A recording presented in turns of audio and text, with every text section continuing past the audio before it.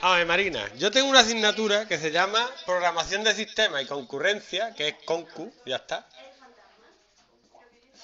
¿Vale? Y que me pasó al principio lo mismo que te está pasando a ti. Te ha dicho, funciones. Yo no me entero de nada, ¿no? ¿Has dicho tú? Lo mismo. Si entra por eso, va a empezar la cosa a liar si no te va a enterar de nada, que es lo que me pasa a mí. Me quedan dos semanas para el examen y no sé lo que voy a hacer. Bueno, yo sí sé lo que voy a hacer. Estudiar y a ver, a ver. No, es fácil, no puedes ir pensando, es muy difícil, pues entonces te lías y nunca terminas de aprenderla bien. No nos podemos permitir eso. Ni yo tampoco me lo puedo permitir porque son 900 euros otro año estudiando, no tengo ganas. ¿Qué pasa? ¿Qué es lo que no te entera las funciones? Pero eso no tiene que ver con las funciones. ¿Eso qué es de las funciones? Ah, vale. ¿Ves tú? Ya es otra cosa. Pero la- recta lo entiende, ¿no? Entonces, te- te han explicado el dominio. ¿Quién ha dado el dominio? ¿Nadie? Te habéis dado la continuidad, ¿no?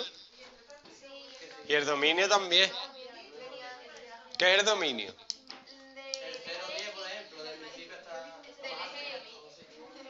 ¿Cómo?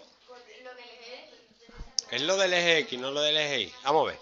Yo tengo una función que tiene novia. Esa función se aplica, bueno, en sobre los tíos, también sería sobre las tías, pero para simplificar, si no me van a coger los gays me van a pegar. Por simplificar, dominio tiene novia. Vamos a coger, está Irde. Javi, ¿te quieres poner a trabajar? Está Javi. Está Johan. Está Antoñito. Así no coja el ordenador, Guilla. Te lo carga. Está Antonio. Está Cristian. Así no se escribe. ¿Cómo se escribe? ¿Cómo?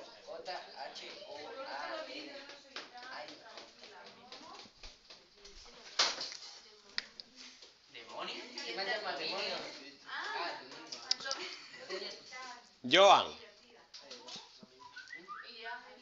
Bueno, Javi, ¿te quieres poner a trabajar?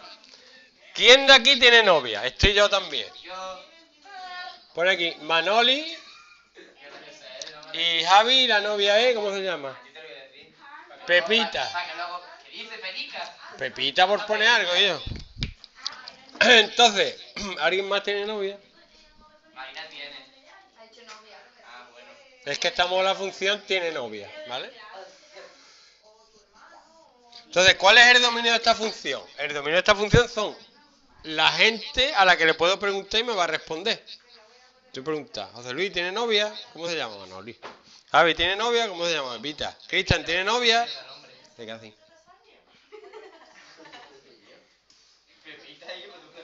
No te dice nada.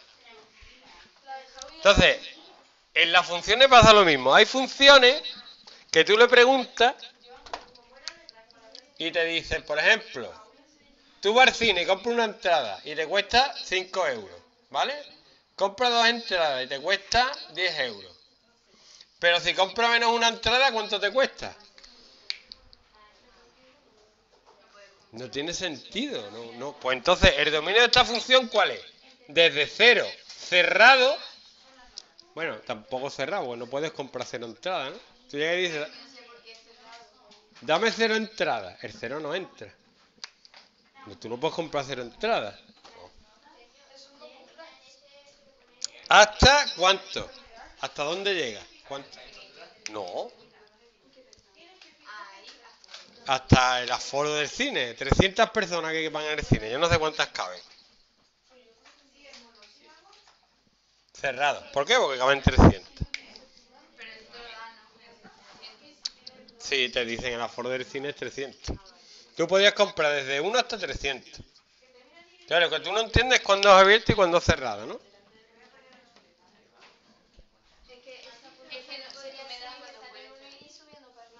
Mm, De 1 a 300. Y no tiene por qué ser así, ¿no? Mm, no.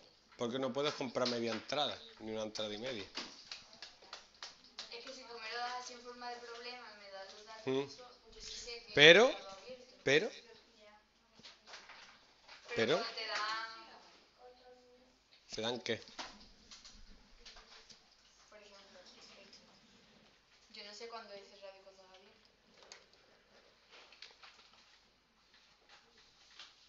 Mm.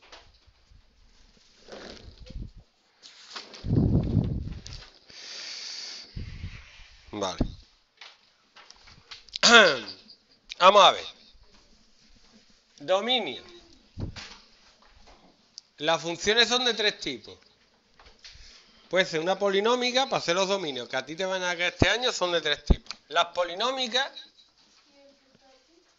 tiene de dominio todo R.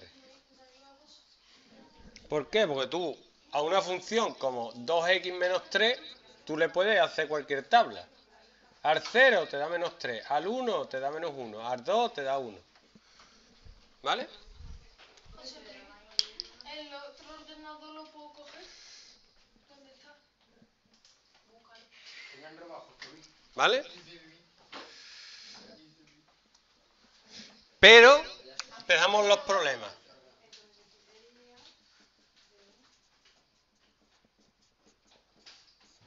¿Cuál es el dominio de esa función? El dominio es el eje de X. Hay que despejar la X. ¿Cuál es el dominio? Yo no te pregunto que despejar la nada. ¿Cuál es el dominio? Cero. Eso se representa así. Todos los números menos el 0. ¿Vale? Ya te lo han explicado por lo visto cuál es el dominio de esta función.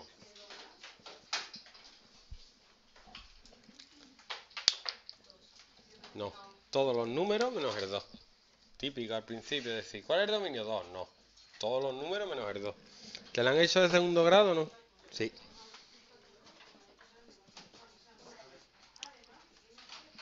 ¿Cuál es el dominio? Todos los números salvo el 2 y el menos 2. ¿Por qué? Porque esos dos números hacen que esto sea 0. ¿Vale? Ya está. Entonces, en esta no hay abierto ni cerrado. Vamos a cuando hay abierto y cerrado. ¿Vale? ¿Esto lo veis o no? No sé si lo vais a dar. No habéis dado. Estos dominios no habéis dado, ¿no? Vale, pero a ella sí le cae. ¿Qué pasa cuando hay una raíz cuadrada? ¿Cuál es el dominio de raíz de x? Tú no puedes hacer raíz de un número negativo. El 0 vale porque puedes hacer raíz de 0. ¿Vale?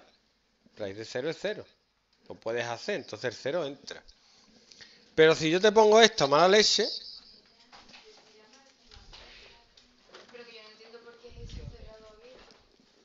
Ya, ya, eso voy, eso voy. Ah, que no entienden porque esto es cerrado y porque esto es abierto. Abierto, el infinito siempre es abierto. ¿Por qué? Porque no sabes qué número es. Y el otro siempre es cerrado porque sí sabes qué número es. Ya está, eso es lo que te puedo explicar según lo que yo veo aquí, para no liarte. ¿Mm?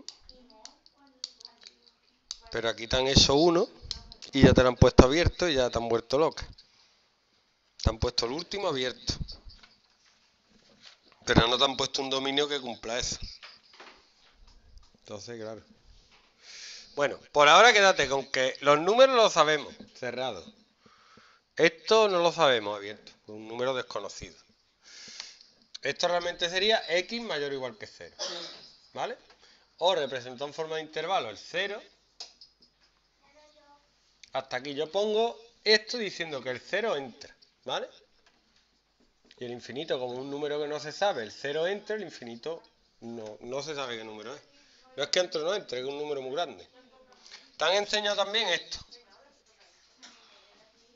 Entonces tú tienes que hacer cuando x menos 2 es mayor o igual que 0. ¿Vale? Eso ya lo has visto. Y cuando x es mayor o igual que 2. ¿Sí o no? Y esto es desde 2, porque el 2 entra, pone igual. Cuando pone igual hay que poner que entra. Hasta más infinito. ¿Vale? Y te la han puesto también al revés, ¿no? Ahora vamos a hacerlo al revés. Aquí te han puesto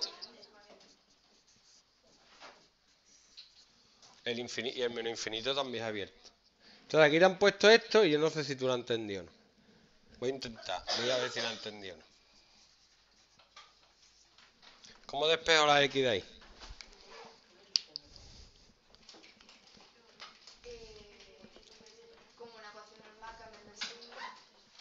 Entonces, ¿qué queda?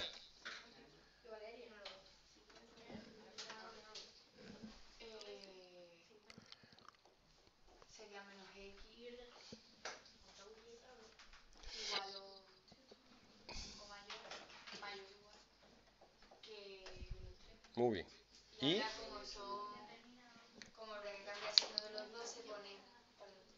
Muy bien. Así te lo iba a explicar yo.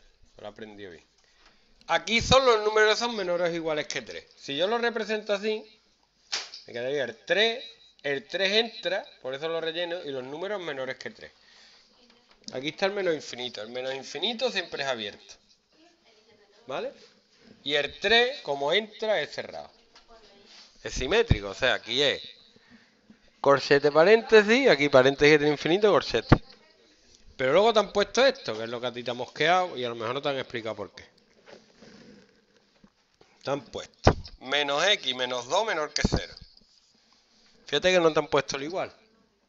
Si no te han puesto el igual, es porque cuando tú lo resuelvas, te queda x mayor que menos 2. ¿Qué números son? Espérate. Mayores que menos 2.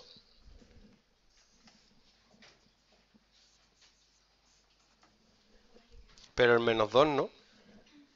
No entra. ¿Por qué? Porque no está al igual. No está al igual, no entra. Entonces sería desde menos 2 hasta más infinito. ¿Vale? Qué bueno soy, ¿eh?